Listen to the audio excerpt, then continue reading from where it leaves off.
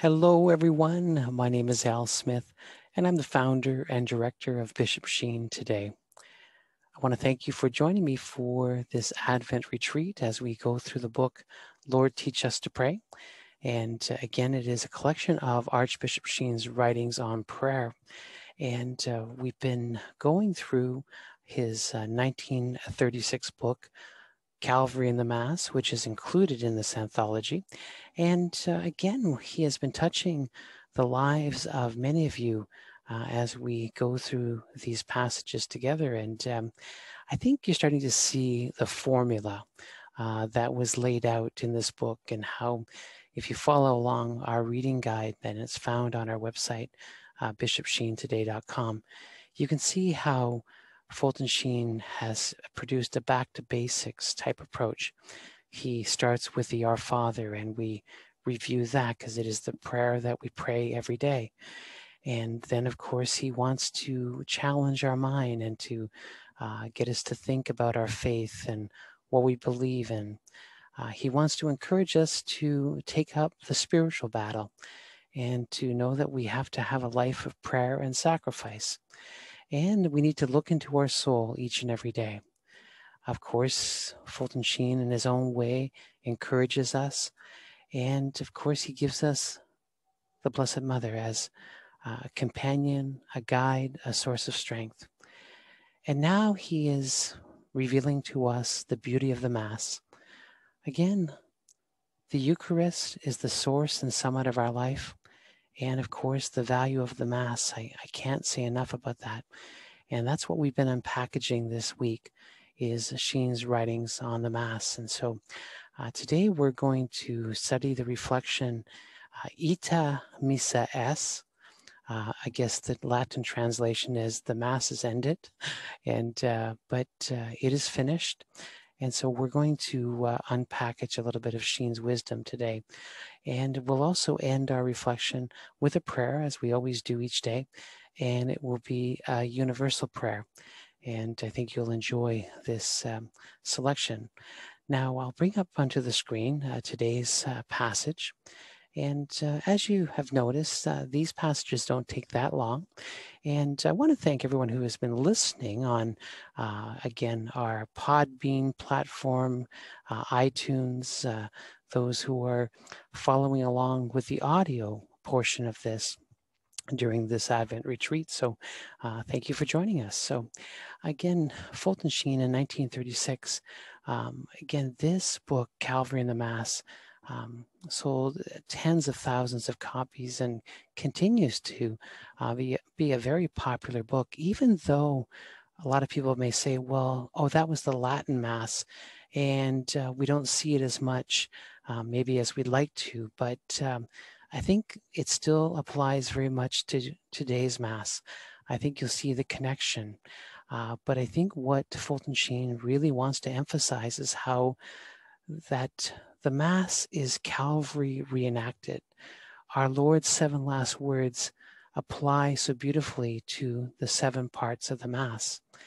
And in today's reflection, the Ite, Missa Est will tie into the words of our Lord, It is finished. And so let me share with you Fulton Sheen's wisdom. Our blessed Savior now comes to the Ite, Missa Est of his Mass as he utters the cry of triumph It is finished. The work of salvation is finished. But when did it begin? It began back in the agelessness of eternity when God willed to make man. Ever since the beginning of the world, there was a divine impatience to restore man to the arms of God. The Word was impatient in heaven to be the lamb slain from the beginning of the world. He was impatient in prophetic types and symbols, and his dying face was reflected in a hundred mirrors stretching through all Old Testament history. He was impatient to be the real Isaac, carrying the wood of his sacrifice in obedience to the commands of his heavenly Abraham. He was impatient to fulfill the mystical symbol of the Lamb of the Jewish Pasch, who was slain without a single bone of its body being broken. He was impatient to be the new Abel, slain by his jealous brethren of the race of Cain, that his blood might cry to heaven for forgiveness. He was impatient in his mother's womb as he saluted his precursor, John. He was impatient in the circumcision as he anticipated his bloodshedding and receiving the name of Savior. He was impatient at the age of 12 as he reminded his mother that he had to be about his father's business. He was impatient in his public life as he said he had been uh, had a baptism wherewith he was to be baptized and he was straight, straightened until it be accomplished. He was impatient in the garden as he turned his back to the consoling twelve legions of angels, to crimson olive roots with his redemptive blood. He was impatient at his Last Supper as he anticipated the separation of his body and blood under the appearance of bread and wine and then impatience closed as the hour of darkness drew near at the end of that Last Supper. He sang. It was a trivial matter for the world if the stars burned brightly, or the mountains stood as symbols of perplexity, or the hills made their tribute to valleys which gave them birth. What was important was that every single word predicted of him should be true. Heaven and earth would not pass away until every jot and title had been fulfilled. There was only a little iota remaining, one tiny little jot. It was David's word about every prediction being fulfilled. Now that all else was fulfilled, he fulfilled that quota. He, the true David, quoted the prophet David it is finished. What is finished? The redemption of man is finished. Love had completed its mission, for love had done all that it could. There are two things love can do. Love, by its very nature, tends to an incarnation, and every incarnation tends to a crucifixion. Does not all true love tend toward an incarnation? In the order of human love, does not the affection of husband for wife create from their mutual loves the incarnation of their confluent love in the form of a child? Once they have begotten their child, do not they make their sacrifices for him, even to the point of death?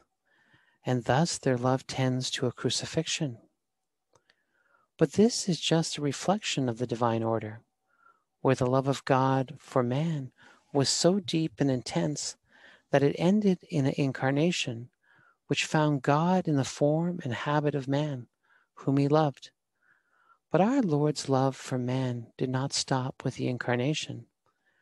Unlike everyone else who was ever born, our Lord came into this world to redeem it.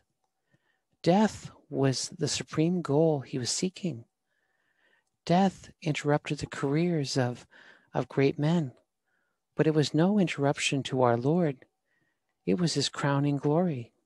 It was the unique goal he was seeking. His incarnation thus intended to, to the crucifixion. For greater love than this no man has, that he lay down his life for his friends. Now that love had run its course in the redemption of man, divine love could say, I have done all for my vineyard that I could do. Love can do no more than die. It is finished. Ite, missa est. His work is finished, but is ours? When he said it is finished, he did not mean that the opportunities of his life had ended. He meant that his work was done so perfectly that nothing could be added to it to make it more perfect. But with us, how seldom that is true. Too many of us end our lives but few of us see them finished. A sinful life may end, but a sinful life is never a finished life. If our lives just end, our friends will ask, How much did he leave?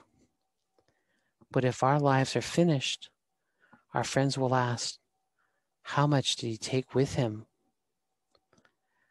A finished life is not measured by years, but by deeds, not by the time spent in the vineyard, but by the work done. In a short time, a man may fulfill many years. Even those who come at the eleventh hour may finish their lives. Even those who come to God like the thief at the last breath may finish their lives in the kingdom of God. Not for them the sad word of regret. Too late, O ancient beauty, have I loved thee. Those great words of St. Augustine. Our Lord finished his work, but we have not finished ours. He pointed out the way we must follow. He laid down the cross at the finish, but we must take it up. He finished redemption in his physical body, but we have not finished it in his mystical body. He has finished salvation. We have not yet applied it to our souls. He has finished the temple, but we must live in it. He has finished the model cross. We must fashion ours to its pattern. He has finished sowing the seed. We must reap the harvest. He has finished filling the chalice, but we have not finished drinking its refreshing draughts. He has planted the wheat field. We must gather it into our barns. He has finished the sacrifice of Calvary. We must finish the Mass. The crucifixion was not meant to be an inspirational drama, but a pattern act on which to model our lives. We are not meant to sit and watch the cross as something done and end it, like the life of Socrates. What was done on Calvary avails for us only in the degree that we repeat it in our own lives. The Mass makes this possible, for at the renewal of Calvary on our altars, we are not onlookers, but sharers in the redemption. And there it is that we finish our work. He told us, And I, if I be lifted up from the earth, will draw all things to myself. He finished his work when he was lifted up on the cross we finish ours when we permit Him to draw us unto Himself in the Mass. The Mass is that which makes the cross visible to every eye. It placards the cross at all the crossroads of civilization. It brings Calvary so close that even tired feet can make the journey to its sweet embrace. Every hand may now reach out to touch its sacred burden and every ear may hear its sweet appeal, for the Mass and the cross are the same. In both, there is the same offering of a perfectly surrendered will of the beloved Son, the same body broken, the same blood flowing forth, the same divine forgiveness. All that has been said and done and acted during Holy Mass is to be taken away with us, lived, practiced, and woven into all the circumstances and conditions of our daily lives. His sacrifice is made our sacrifice by making it the oblation of ourselves in union with Him. His life given for us becomes our life given for Him. Thus do we return from Mass as those who have made their choice, turn their backs upon the world, and become other Christ for the generation in which we live, living potent witness to the love that died that we might live with love. The world is full of ours. Let me say that again. The world of ours is full of half completed Gothic cathedrals, of half finished lives, and half crucified souls. Some carry the cross to Calvary and then abandon it. Others are nailed to it and t- detach themselves before the elevation. Others are crucified, but in answer to the challenge of the cross and the world, come down. They come down after one hour, after two hours, after two hours and 59 minutes. Real Christians are they who persevere unto the end. Our Lord stayed until he had finished. The priest must likewise stay at the altar until the Mass is finished. He may not come down. So we must stay with the cross until our lives are finished. Christ on the cross is the pattern and model of a finished life. Our human nature is the raw material. Our will is the chisel. God's grace is the energy and the inspiration. Touching the chisel to our unfinished nature, we first cut off huge chunks of selfishness. Then, by more delicate chiseling, we dig away smaller bits of egotism until finally only a brush of the hand is needed to bring out the completed masterpiece, a finished man made to the image and likeness of the pattern on the cross. We are at the altar under the symbol of bread and wine. We have offered ourselves to our Lord. He has consecrated us. We must therefore not take ourselves back, but remain there until the end, praying unceasingly that when the lease of our life has ended, and we look back upon a life lived in intimacy with the cross, the echo of the sixth word may ring out on our own lips. It is finished. And as the sweet accents of the Ite, Missa Est reach beyond the corridors of time and pierce the hid battlements of eternity, the angel choirs and the white Rome army of the Church Triumphant will answer back, Deo gratias. I love when the priest says, The Mass is ended, let's go in peace to love and serve the Lord. And what Fulton Sheen is saying here is, let's finish our life well. Uh, we have work to do. We haven't completed the mission yet. We have work to finish. And uh, of course, our Lord leads by example. He finished his mission. He completed the task that God the Father gave him and he laid down his life for us. And so let us learn from his example. Let us lay down our lives for our friends, for our family. Let us continue to be, uh, I like to say, as Fulton Sheen would write about priest and victim. Sometimes we have to be a little bit of a victim and offer ourselves up. But again, it is finished. Those beautiful words of our Lord as a holy inspiration for us. All right, let us uh, conclude with uh, a meditation today, a beautiful prayer. And uh, again, the book, Lord Teach Us to Pray, has a whole section of prayers. And uh, many of these prayers are very appropriate for our spiritual battle that we face each day.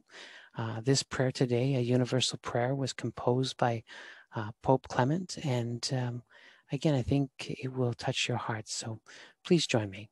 In the name of the Father, and the Son, and the Holy Spirit. Amen.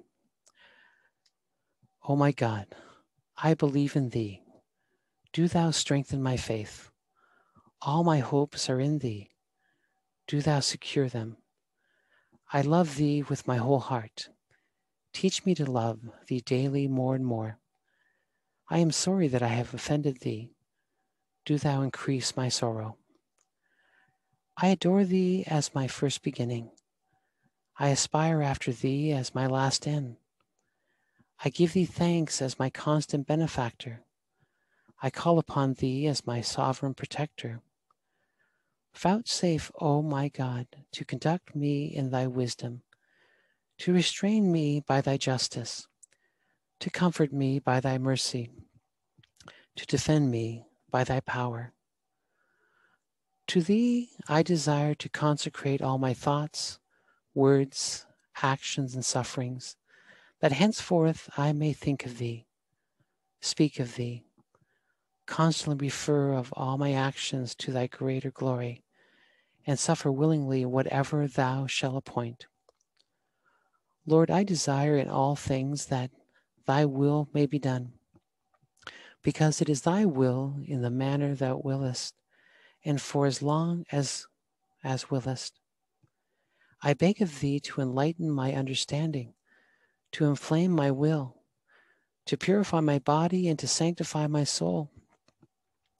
Grant that I may, grant that I be not puffed up with pride, moved by flattery, deceived by the world, or duped by the devil. Give me grace to purify my memory, to bridle my tongue, to restrain my eyes, and to mortify my senses. Give me strength, O my God, to expiate my offenses, to overcome my temptations, to subdue my passions, and to acquire the virtues proper for my state. Fill my heart with a tender affection for the goodness, a hatred for my faults, a love for my neighbor, and a contempt for the world. Let me always remember to be submissive to my superiors, patient with my inferiors, faithful to my friends, and charitable to my enemies. Grant, O Jesus, that I may remember thy precept and example by loving my enemies, bearing with injuries, doing good to those who persecute me, and praying for those who slander me. Assist me to overcome sensuality by mortification, avarice by alms deeds, anger by meekness, and tepidity by devotion. O oh my God, make me prudent in my undertakings, courageous in dangers, patient in afflictions, and humble in prosperity. Grant that I may be ever attentive in my prayers, temperament at meals, diligent in employments, and constant in good resolutions. Let my conscience be ever upright and pure, my exterior modest, my conversations edifying, and my life according to rule. Assist me that I may continually labor to overcome nature, to correspond with thy grace, to keep thy commandments, and to work out my salvation. Help me to obtain holiness of life by a sincere confession of my sins, by a devout reception of the body of Christ, by a continual recollection of my mind, and by a pure intention of heart. Reveal to me, O my God, the nothingness of this world, the greatness of heaven, the shortness of time, and the length of eternity. Grant that I may prepare for death that I may fear thy judgments, that I may escape hell, and in the end obtain heaven, through the merits of our Lord Jesus Christ. Amen. In the name of the Father, and the Son, and the Holy Spirit. Amen. That was a great prayer, the universal prayer uh, from Pope Clement, Clement Eleventh. Um, I love that. I love that. I'm going to use that more often in my prayer life. Everyone, thank you for joining us for this um, uh, day of reflection during our Advent retreat. And so I'd ask you to invite a friend and, um, of course, uh, please pick up a copy of the book, Lord, Teach Us to Pray. And uh, until next time, may the good Lord continue to bless you and keep you. May the Lord let his face shine upon you and be gracious to you. And may the Lord look upon you kindly and bring you peace. God love you.